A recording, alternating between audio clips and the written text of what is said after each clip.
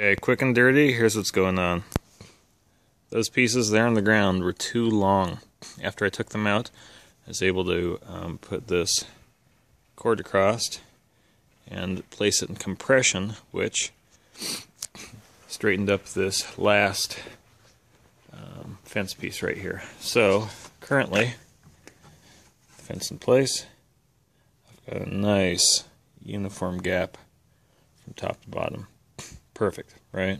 I need it to stay that way once I have removed my compression cord here.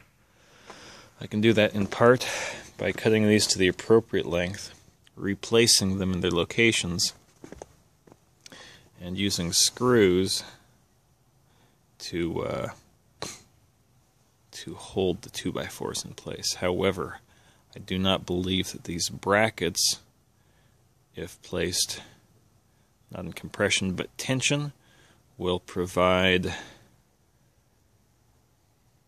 um, a good means by which I will keep this piece from pulling away.